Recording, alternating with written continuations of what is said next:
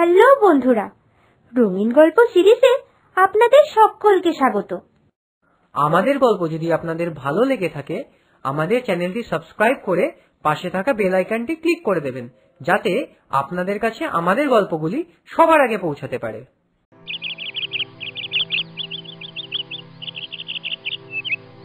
কি গো প্রতিমা কেমন আছো? বৌমা ভালো তো? এইদিকে তো আর আশাই হয় না। আর বলো না, ওটা বউ নাকি অন্য কিছু? সারা দিন আমার উপরে হুকুম চালায়। আর আমার ছেলেও এখন আমার কোনো কথা শোনে না। উল্টো বৌমাকে কিছু বললে ছেলে আমাকে চোখ রাঙায়। কি বলছো? এই তো বিয়ের পর পরই বলতে যে বৌমা নাকি তোমার মেয়ের মতন।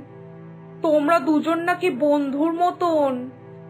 আর বিয়ের এক বছর ঘুরতে না ঘুরতে এই সব শুনতে হচ্ছে? বিয়ের প্রথম দু মাস তো ঠিকই ছিল সবকিছু। কিন্তু ওই যে বেশি স্বাধীনতা দিলে যা হয় মাথায় চড়ে বসেছে। এখন আমার উপরে হুকুম চালায়। কিছু বলতে চাইলেও বলতে পারি না ছেলের ভয়। ও যত চেঁচামেচি করে রাগ দেখাবে। না হলে কবে আমি ওই মেয়েকে সাহায্য করে দিতাম? হুম সে কি আর আমি জানি না। তুমি যে কত ঝগড়ুটে, বাবা। তোমার আর আমার ছেলে যখন স্কুলে পড়তো, তখন তো শুনতাম। প্রতিদিনই তো বলতে আমাকে যে আজ কীভাবে শাশুড়িকে সাহেস্তা করে এসেছ। যার সাথে একটু মত বিরোধ হতো, তার সাথেই গন্ডগোল। অবশ্য আমার সাথে সেটা কোনোদিনই হয়নি। তাও, বেশ হয়েছে। দেখ এবার, বৌমা যদি এবার তোকে একটু সাহেস্তা করতে পারে কি গো অনিমা? কি চিন্তা করছ? চুপ হয়ে গেলে যে? না না কিছু না। আহ, তুমি বলো। তোমার ছেলের বিয়েও তো ঠিক হয়ে গেছে শুনলাম। হ্যাঁ তো তাই জন্যই তো তোমার কথা শুনে আমার এখন ভয় হচ্ছে। খুব চিন্তা হচ্ছে জানো তো। বৌমা আসার পরে আবার আমার ছেলেও পর হয়ে যাবে না তো। কিছু বলা যায় না। দিনকাল যা পড়েছে এটা তো প্রত্যেকটা বাড়িরই গল্প। তাই বলি শোনো বউকে সবাই ছেড়ে দেবে না। একটু শাসনে রাখবে প্রথম থেকে। নইলে তোমারও শেষমেশ আমার মতনই হাল হবে। হুম হ্যাঁ ঠিকই বলছো। এইবার তাই করতে হবে। আচ্ছা অনিমা আমি এখন আসি। নইলে দেরি হয়ে গেলে আবার বউয়ের মুখ ঝামটা শুনতে হবে। বলবে? কখন দোকানে পাঠিয়েছি? আর এতক্ষণ লাগে আসতে? আমি যে কপাল করেছিলাম, এমন একটা বউ পেয়েছি। ঠিক আছে, আবার পরে কথা হবে। কি অবস্থা প্রতিমার? আমার তোকে দেখেই দুঃখ লাগছে। যে কিনা এক সময় ওর ভয় সবাইকে দমিয়ে রাখতো, তার কোথায়? সে দেখছি আজ বৌমার ভয় নিজেই দমে গেছে। যাই হোক প্রতিমা একটা কথাই ঠিক বলেছে। বৌমাকে প্রথম থেকে শাসনে রাখতে হবে। একটুও মাথা নত করা যাবে না। ও যাই বলবে, সেই কথাকে অগ্রাহ্য করতে হবে। ওকে বুঝিয়ে দিতে হবে যে বাড়িতে আমার কথাই শেষ কথা। একটুও মাথায় তোলা যাবে না।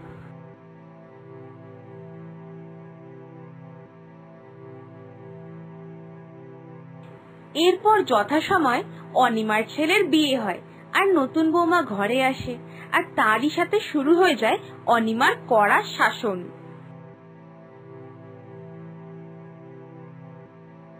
শোনো বৌমা, প্রতিদিন সকালে সূর্য ওঠার আগে তুমি উঠবে আর উঠে স্নানটা সেরে নেবে।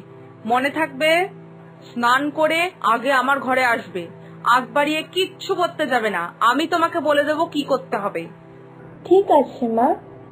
মাথা নত করে এই বলে বৌমা সেখান থেকে চলে যায়। আর অনিমা তো মনে মনে একটু অহংকার বোধ করে বৌমাকে দমিয়ে রাখার জন্যে।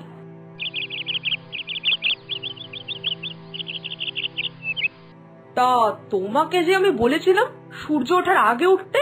তো এখন তো ছটা বাজে। সূর্য উঠে গেছে আধ ঘণ্টা হয়ে গেল।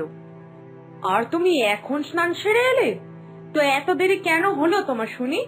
আসলে মা আমি সূর্য ওঠার আগেই উঠেছি স্নানও করে ফেলেছি কিন্তু চুল আছড়ে আসতে আসতে একটু দেরি হয়ে গেল। সে যাই হোক কাল থেকে যেন এসব স্নান করা চুল বাঁধা সাজগোজ এসব যাতে সূর্য ওঠার আগেই হয়ে যায় ঠিক আছে? ঠিক আছে মা মনে থাকবে। আচ্ছা আচ্ছা ঠিক আছে। তুমি এখন যাও তো ঘরে পুজোটা একটু দিয়ে দাও তারপরে আবার আমার কাছে আসবে আমি তোমাকে বলে দেব কি কাজ করতে হবে। আচ্ছা মা আমি বলছিলাম কি একেবারে বলে দিন না আমাকে কি কি করতে হবে তাহলে আমি পরপর সব কাজ করে ফেলব।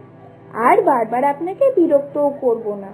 না না একেবারে বলা যাবে না। আমি যেটা বলছি সেটা আগে করো। আচ্ছা মা ঠিক আছে। একেবারে তো বলে দিতেই পারতাম কি কি কাজ আছে। কাজের লোক তো সব বাকি কাজ করেই দেবে। খালি তো রান্নার কথাটাই বলতাম। যাক যাক, বলেছি বলেছি, একে একে বলাই ভালো। ওকে বোঝাতে হবে যে বাড়িতে সব আমার হুকুমেই চলে।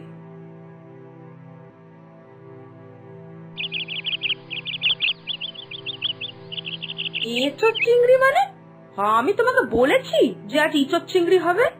না মানে এঁচোড় আর চিংড়িটা দেখে ভাবলাম বোধহয় আজ এঁচোড় চিংড়ি হবে বাড়িতে। বেশ তো দেখেই তুমি ভেবেছিলে। তো আমার মতামতের কোনো দাম নেই না তোমার কাছে?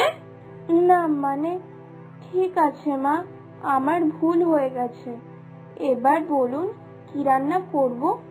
যদিও আমি ইঁচড় চিংড়িটা খাব বলেই আনিয়েছিলাম কিন্তু এখন তো দেখছি মত পরিবর্তন করতেই হবে।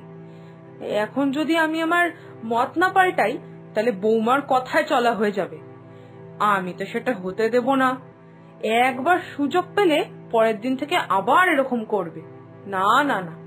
হ্যাঁ তা ওই চিংড়িটার মালাইকারি বানাও আর ওই ইঁচড়টার পকোড়া ভেজে ফেলো ঠিক আছে? এঁচোড়ের পকোড়া করব? হ্যাঁ কেন? দেখে তো মনে হচ্ছে না আমি শোনি কখনো। ওকে আর আমি কি বলছি? ওকে যা বলছি, তাকে আর আমি আগে জানতাম। সেদিনকে টুম্পার বাড়িতে গিয়ে না দেখলে কখনোই জানতে পারতাম না রান্নাটা। ঠিক আছে, ছাড়ো, আমি তোমাকে বানানোর পদ্ধতিটা শিখিয়ে দিচ্ছি। এরপর অনিমা তার বৌমাকে রান্নাটা শিখিয়ে দেয়। আর বৌমাও অনিমার কথা মতন সব কাজ করে। এইভাবে কাটতে থাকে তাদের দিন।